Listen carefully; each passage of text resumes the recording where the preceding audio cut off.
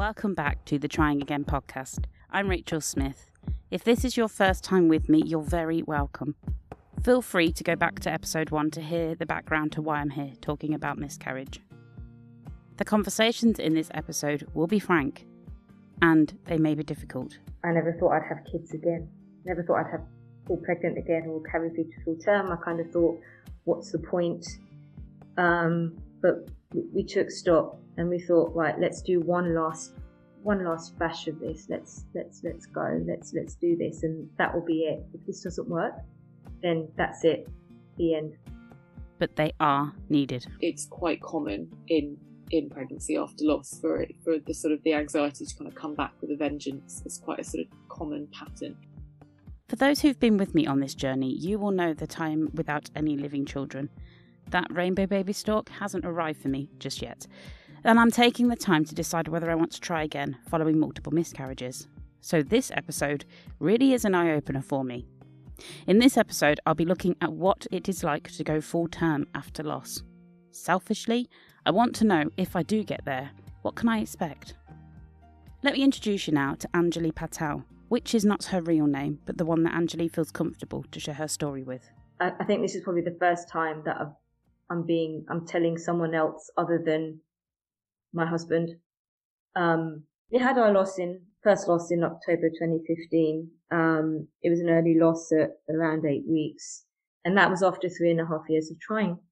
And then three weeks later, three or four weeks later, um, I experienced my first loss. Um, and it was really hard. Uh, we took a break and then we did our first, um, fertility treatment. We did, um, IVF. Um, and unfortunately that then ended in a mis- miscarriage at, at around 10 weeks. I had the initial scan and they said, okay, you've lost the baby. And then, you know, there's no heartbeat and that's, that's heart wrenching in itself and then having to wait a week before they, you know, carried out the procedure. It's like, you know, I'm, I'm carrying my child, but my child's no longer living. Um, and that, that was for me, that was, that was really, really hard.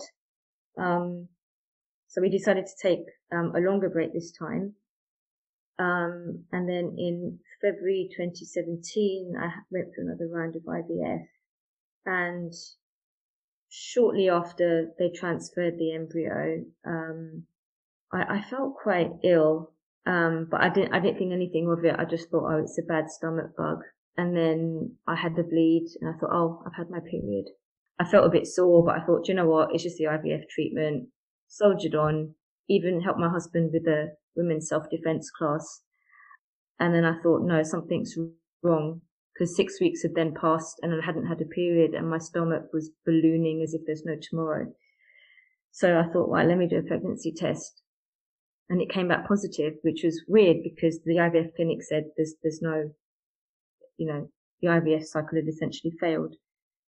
And then, yeah, so thought, well, okay, so it's positive test. So we went back to the IVF clinic. They ran some bloods and they were like, yeah, you're, you're, you're definitely pregnant. Um, but your uh, hormone levels aren't what they should be for someone who's say 10 weeks or 11 weeks pregnant. Long story short, we eventually got a scan a week or two later and that confirmed that I'd actually had an ectopic pregnancy. Um, so I had an emergency laparoscopy and what they found was the embryo that had gone back into my uterus had actually decided to go walkabout. So it went from my right went up my right fallopian tube and it came out the other end and decided it was going to implant on my right ovary. That, that was really, I think that was probably for me, that was probably one of the hardest things physically for me to go through. It was really, really, tough. I then fell pregnant naturally, um, three months after my ectopic and that resulted in a mis- miscarriage. And then, yeah, it doesn't get any better, unfortunately in IVF, we had we decided to go through another round of IVF, and that again resulted in a chemical pregnancy. By which point, I was absolutely completely deflated. I never thought I'd have kids again. Never thought I'd have fall pregnant again or carry through to full term. I kind of thought, what's the point? Um, but we took stock and we thought, right, let's do one last one last bash of this. Let's, let's, let's go. Let's, let's do this. And that will be it. If this doesn't work, then that's it. The end. We did three IVF cycles essentially back to back over the course of six months. We decided to transfer that one viable embryo and I carried through to full term and our son Ethan was born in um, October last year and he's a perfectly happy, healthy child. Um, and I never thought we'd get to this point. It, it's, yeah, it's, it's been tough. And obviously the emotional stuff that goes with it, mm. physical stuff that goes with it. I've, I think I've probably, before I even had Ethan, I'd put on an extra stone due to the IVF treatments and the eating shed loads of ice cream and chocolate because I felt sorry for myself. Mm-hmm. No, um, I get that. I still haven't lost the weight. I'm still in my maternity stuff, 10 months on. And then obviously, you know, we've got a large extended family. I mean, I'm, I'm, I'm British Asian by background. We've got a large extended family. So, you know, over the last, you know, over the 10 years that it took us to, to essentially have Ethan, we've had people get married, have one kid, two kids, and it's just a constant people asking you questions or when you're going to have a baby, mm. and then people stop asking when you when you respond rudely and say it's none of your business. um, I mean, especially within the Asian community, um, it's it's almost like, oh, you're married, or when are you going to have a kid? Almost straight away. I think, I guess in any community, not just not just the Asian community, but um, you know, people do ask questions, and I think I think they shouldn't. Um, I mean, they wouldn't ask a man that question, hmm. um, really. So yeah, I mean, it's it's been really hard. Um, and I this is not something I would wish on anyone to go through, um, ever. I mean, not even my worst enemy. Even if I did have any enemies, I wouldn't I wouldn't wish that on them. It's it's it's been really hard, really hard. And your decision to say this is our last time, how did you feel and how did that come about that you would, that, well, one, you've built yourself up after so many losses to say, actually, yes, I'm going to do this again. But then also, this is it. And then this is the last time I'm doing it again. How did that settle with you? Yeah, so um, that that was a really hard decision for us to take because um, just before we took that decision, um, I think we we were both myself and my husband, we were both at a point where we were like, this isn't going to happen, is it? This isn't going to happen. And then we actually took a step back and thought and worked through it logically. So took the emotion out of it almost. So we came to the, we came to the decision that look, every time we've had an IVF cycle, essentially I've, I've fallen pregnant, even if it was for a very short amount of time. Let's give this one last go because we can't keep doing this anymore. So let, let, let's, let, let's give it one last chance. And if it doesn't work, we'll look into other options or we'll just, you know, we, we just won't have children. Um, and that, as I said, that was a really hard decision to take. It, it, yeah, it, we just, we just came to that conclusion because we thought we can't go on anymore. But we've got the funds. We can't take money with us when we die. Mm. Let's, let's just, let's just do it one last time. It was just, we just didn't want to leave any stone unturned. And we hadn't done any testing on our embryos beforehand in, our previous IVF cycles. So we just thought, we trusted our clinic and we just thought, well, okay, let's, let, let's just do this. Let's just, let's just go for it one last time when you were coping with the grief and you found out you were pregnant with Ethan, how was that feeling when you'd got past your little hurdles, you know, when you'd got past the 12 weeks? See, unfortunately, what happened was we found out we were pregnant with Ethan, and then it was also our 10 year wedding anniversary, so we were looking to go away. Two days before we were due to fly, um, I had a severe bleed and I was passing things I didn't recognize. So I thought, oh, here we go another miscarriage. And I cried and cried literally non-stop until the scan. And then luckily the scan showed that everything was okay. We were, me especially, I was very, very anxious to the point where I would continue, every time I go to the toilet, I'd be like, yes, no bleed. And, and that kind of continued, that, that anxiety continued until maybe I was about 20, 25 weeks when we slowly started to tell people. And I was just anxious throughout my entire pregnancy. Mm. Um, I mean, I was happy, obviously, that I had a baby on the way after all that we'd been through. But it was just, honestly, it was just constant anxiety and lots of ups and downs as well. Like some days I'll be like, oh, yeah, oh, look, I've got a bump. And there'll be other days I'm like, oh, I feel like really scared. Mm. Um, so there are a lot of ups and downs, and I guess hormones don't help either. Um, and I just kind of almost threw myself into my work, so I just carried on working and carried on just, you know, plodding along as I normally would, just to kind of almost while away the months, just just to make sure that you know, I can get through. But once you, so once we'd passed, I think it's a 25, where the 25 or the 26 week mark, where a pregnancy is able to, a baby's able to survive outside the womb was when I started to, my anxiety started to decrease a little. I thought, even if I have the baby now, it's okay. Hopefully the baby will live. Um, we, we had a couple of scares during the pregnancy. So obviously the one I mentioned, then we had another scare around 25 weeks where they couldn't detect a heartbeat. Um, is because the midwife's machine decided it wasn't working. Oh wow. Yeah, so yeah, that's great.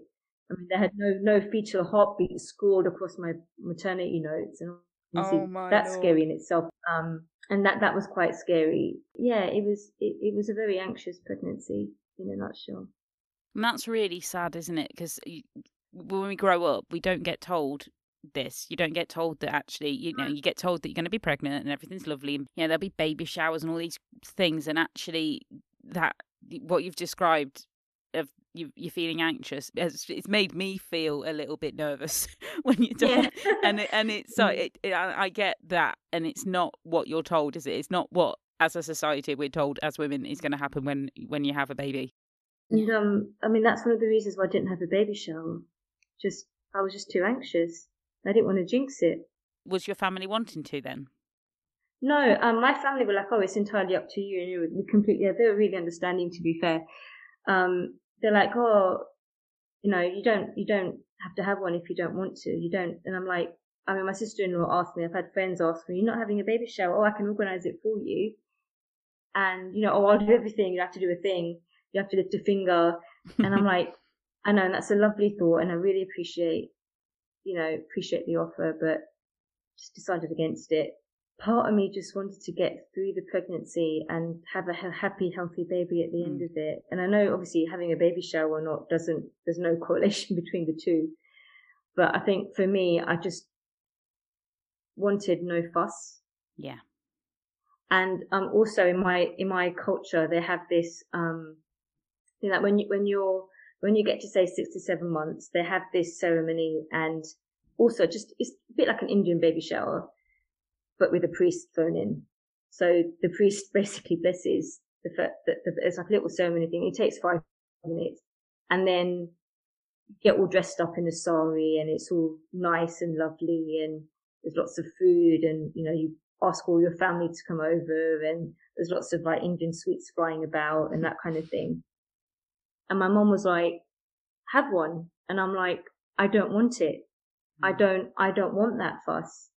And my husband was like, well, you know, if you can have, if you want to have it, have it. We'll do, we'll do it small, just immediate family only. And, you know, you, you can have whatever you want, however you want it. We don't even need, we don't even have to have a priest. You can just do it, you know, just like, you know, and I'm like, no.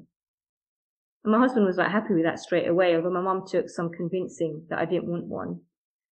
Um, she goes, but why? Why? And I was like, well, because I've miscarried before. And she goes, oh, no, it's okay. I went, no, I just, I just don't want it. And in, in the end, what we did was we ended up just taking both sets of parents when I was at that six, seven month mark, going to the temple and just offering um like some a small box of Indian sweets at the temple and then we went out to a nice Indian restaurant afterwards for dinner and for me that was perfect just no fuss and and I was anxious I was a ball of stress as it was with the pregnancy I just didn't want any extra stress and for me, that was what I wanted. Is there anything you wish you knew before at the start of all your journey? Is there anything you wish that you knew then? Yeah, I think a few things actually. Um, one is I wish I'd known that this is only temporary. And I know that sounds really obvious, but the losses and the time that we were trying was temporary. And just because you think your life is going one way, if it goes, if it's going to go on another, that doesn't matter. That's something you have to deal with. And there's no point worrying about it in between, if that makes sense. Because mm. I got to a point when I was in the midst of it where I thought, I'm never going to get through this. And all I could focus on was getting pregnant or why can't I get pregnant or why can't I carry a baby through to full term? What I wish I'd known is if you can't do that, it's okay. It's perfectly fine to have these feelings, but you need to work through them. And I honestly wish I'd known that then because it's very easy to lose sight of sight of things when you're in that situation. And I wish I'd also known at the time that I needed to work through my feelings a bit better. So I wish I'd known that it's okay to have crappy days. It's okay to have days when you feel inadequate and not to beat yourself up about it. I just wish I'd known that. Because I got, I got so bogged down in, um, what kind of woman am I? And, and also what I would have known is at the time when I was going through it, another thing is to ignore people. When people make comments and ask you, just ignore them. Or come up with fantastic ways of things, fantastic things to say in response. I just wish I'd known that because I'd get so upset by comments, insensitive comments people would make or ask me insensitively when I'm going to have a child. That I just wish, just to, but it's so easy to say that now from where I'm standing, but when you're in the midst of it, it's difficult. But I just wish I would have known that at the time. I wish someone would have just sat down and told me these things. This is an area of unknown for me. I feel a little bit like a child. I feel like I'm not ready, and then I am ready, and then I may never be ready. Hearing from Anjali really has helped me, but I didn't stop there. You may remember from my chat in episode 4, and spoiler alert, Jennie Agg shared with me that she was pregnant again after loss. I kind of had this idea that if I got beyond 12 weeks, I'd feel a lot more relaxed. And that there's a, there's an element of that, but I, I definitely haven't completely relaxed, if that makes sense. Mm. But the first, those first 12 weeks were really tough, like the hardest of all I think in terms of like the mental load, I think it's got harder each time. Like, which isn't to say that it's easy that you know after one miscarriage at all. Like, I think it's but it definitely builds. You just expect to be bleeding every time you go to the loo and that sort of thing. I still, I still haven't really shaken that even now. I caught up with Jennie to see how things went with her pregnancy. Edward will be eight weeks old tomorrow, so two months old basically, which is I, I can't. I, my my brain doesn't understand how that's even possible. Basically, I don't know where the the time has gone. Um, but yeah, I'm feeling I'm feeling pretty good. Um, certainly a lot better than I did in the sort of final uh, kind of final month or so of pregnancy. I would say um, when I was really struggling uh, yeah, so it's been, it's been, hasn't been easy, but it has been very enjoyable at the same time. And why were you struggling? I think I, well, I've since been told that it, it's quite normal, um, for sort of pregnancy anxiety to, particularly in people who've had previous losses, whether that's a miscarriage or, um, a later loss. Um, for the kind of anxiety that was really intense at the beginning in the sort of first trimester, perhaps, um, to resurge in the kind of final few weeks. And, um, yeah, it took me a bit by surprise. Um, and my, my, you know, I was very anxious the whole time. I was, I, and I don't know why that would be. I'd not really anticipated it either because I think for me, I'd always thought not that it would be plain sailing, you know, once we got to a 12 week scan, which we'd never got to before. But I did think that, you know, once I was very visibly pregnant, once I could feel the baby moving, once, you know, we'd got past, once we were at full term, because, you know, anything after 37 weeks counts as term. And, you know, if they arrive then, they, there's no sort of issue of prematurity or anything. I'd kind of assumed that those weeks would be the easiest weeks. And actually, I, I didn't find that at all. Um, I, yeah, I found myself very anxious about what might happen in labour and what, how much could still go wrong. And, um, yeah, so I think there was, there was a lot of that going on, um, which, and obviously you still have anxieties with a newborn, but for me anyway, I've, it, it has been a, a much more manageable how did you manage that um, anxiety and stress, or, or did you? A few ways, really. I I kind of really went into. Um, I mean, you probably know this better than most. I just I really went into a bit of a, a bubble, and I I kind of I, I stopped.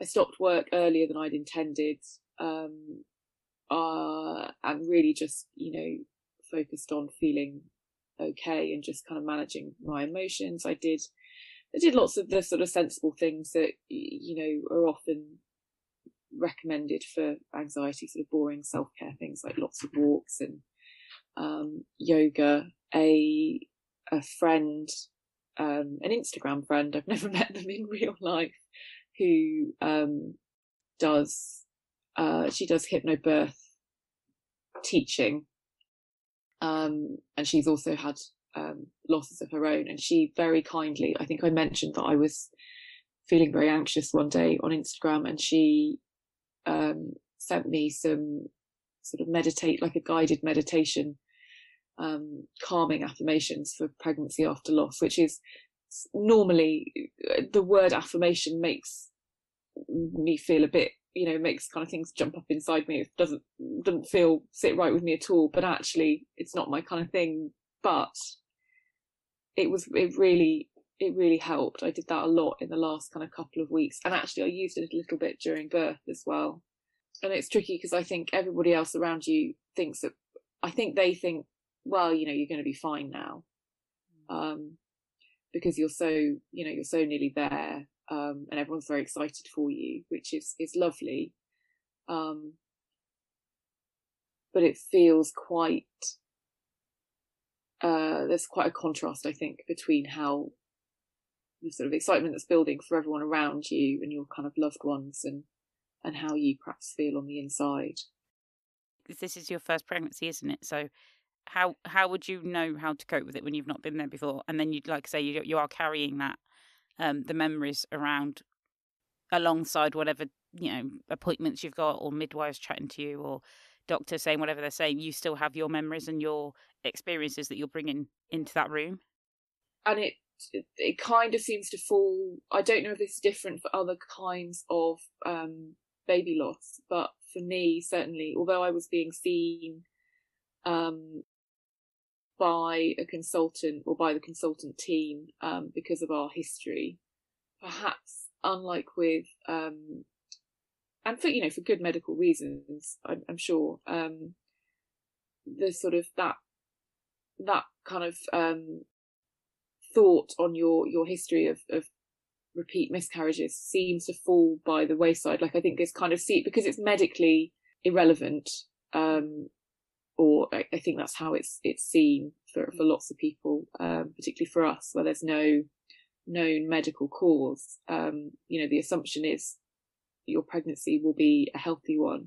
So I think perhaps whereas before in the earlier weeks, um, when they're perhaps more bearing that in mind when they see you, um, and you know, I was taking progesterone and there were sort of things relating to our, our, our history of loss that were kind of at the forefront of those appointments.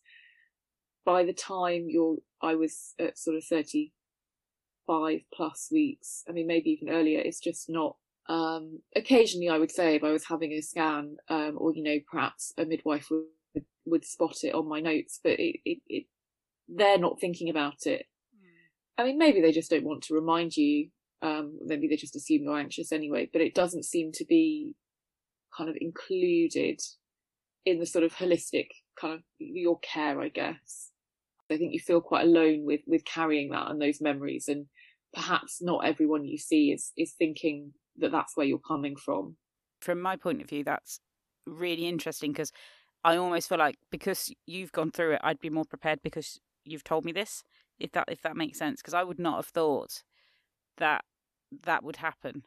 So that's really interesting for me. If I ever get to that point, then I can think, oh, you know, Jennie's had that, so I would maybe wouldn't feel as alone.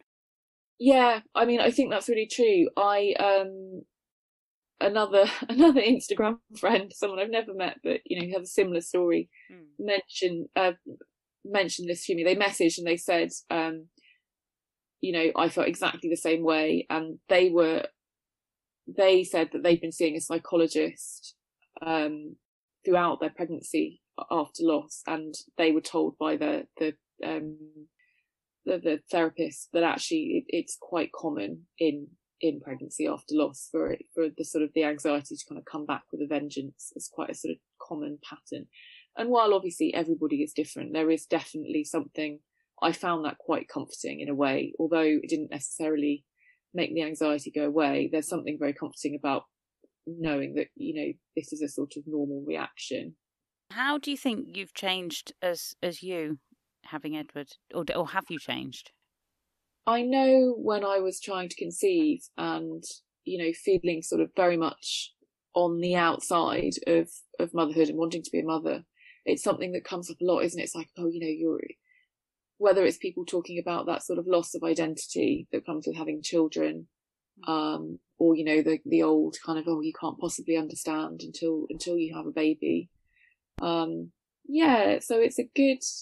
I don't know what my my expectations were really. Um, perhaps because I think think sometimes the comments people would make about sort of the changes that happen to you, the sort of transformation that comes with being a mother, I was always a bit perhaps a bit hurt by it and perhaps therefore a little skeptical and wondering if you know this is just um i mean it obviously does change absolutely everything but i don't feel like a completely different person. I think that's you know in some respects it's a bit of a relief and you know you're no longer having having to be completely uh, or quite so vigilant about what you're eating. You can have the drink again. Um i mean those are very trivial things but mm it's kind of it's a nice kind of reclaiming of, of your autonomy i think.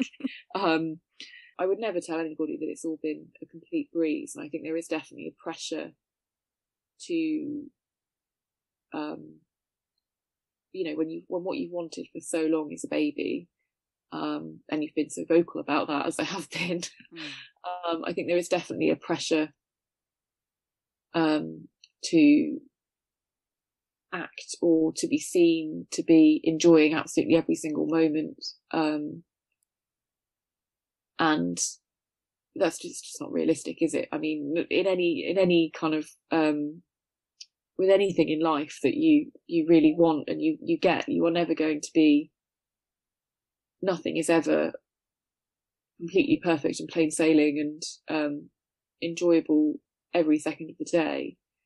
Um, don't get me wrong, there's huge amounts to enjoy um, with having him here. He is the best thing, just the best thing. Um, but it's also very difficult. That doesn't change, I think, just because, I mean, I think we hear quite a lot about how, how difficult, um, the baby years are from women. I think that's, and that was always something that I, that jarred with me when I was kind of writing set out writing um, about writing our story, there's, I think, you know, I've heard endlessly about how difficult um, certain things can be in motherhood, or you know, how lonely those sort of newborn um, or kind of young baby years can be. And yet, there's, you know, you feel like, why don't we hear about the other side of it so much? Mm. Um, why isn't that in the mainstream too? Because it is incredibly mainstream. Lots of people had said um, to us. I don't know whether it was kind of people on the midwives on the ward or, or family members. You know, they sort of warned us that you know that first night at home with the newborn, kind of once everybody's gone, once you're discharged from hospital, once you're on your own, um, that that will be the longest night of your life. you know, kind of having to realizing that you have you're you're on your own. You have to look after um, this tiny person and the kind of the anxiety and that comes with that. I, I mean, while there have been incredibly anxious moments throughout with Edward, it's not. I have to say, it doesn't. It hasn't been a patch on the sort of anxiety of pregnancy for for us. And Dan did say, you know, perhaps we didn't get that sort of real hit of realization and this is our first night with him and oh my god what do we do and what have we done and all those kind of doubts and worries and didn't really hit in the same way and i think as dan said you know our threshold for anxiety is probably quite high at this yeah. point um, and there's a lot more information with having a baby an actual baby that you have to look after you know it's like can you they tell you uh, sort of things that you can monitor and check and um, you know have they have they had this many wet nappies or are they doing this or are they doing that and if they have a rash does it look like this or whatever it is there's a sort of there are things you can check and see objectively with your eyes. When you're pregnant you you you know apart from being able to feel them move which again is a is a sort of can be quite tricky to monitor. Um yeah i don't know. There's there's there's it's there, there are less unknowns i suppose for me. And so in a way that's been a huge um positive i think that perhaps other people don't appreciate in the same way perhaps for them the pregnancy is the fun part and having the baby is the the, the terrifying part and it yeah it's been the balance has been slightly different for us, I think. And I I appreciate this. We're very, it can be quite hard to hear those stories sometimes when you're sort of in the thick of it. And I know I definitely felt that you know everybody was getting their rainbow baby but me. Um, but yeah, I just hope that it is a hopeful story. I think it is. I think it is. But uh, yeah. Oh, bless uh, him. right. I'll let um, you go. yes. Right. I feel very privileged to have had these conversations. Anjali and Jennie navigated their feelings and emotions themselves and paved the way for people like me to learn from. I wouldn't say I'm feeling any less anxious at the thought of getting past 12 weeks, if I do decide to try again. What I think it has helped me with is knowing that I will need to prepare myself for the fallout of getting past 12 weeks. That either side of the coin is likely to be a difficult path that is rocky and full of emotion, and that I need to be very mindful of it. It makes my preparation of lifestyle and choices more important now to ensure that if I do go down that path, I'm in the best possible place to carry a baby full term. This episode was recorded and produced by me in my spare room in my duvet den. The music is Small Bump by Ed Sheeran. Thank you to Anjali Patel, the Miscarriage Association, and Jennie Agg from the Uterus Monologues. If you're going through it right now and you need some support, there's links to help available on the website tryingagainpodcast.com. If you like this episode, please share it or leave a review on your podcast app so that others can find it. And if you haven't already, remember to subscribe to this podcast so that you don't miss an episode.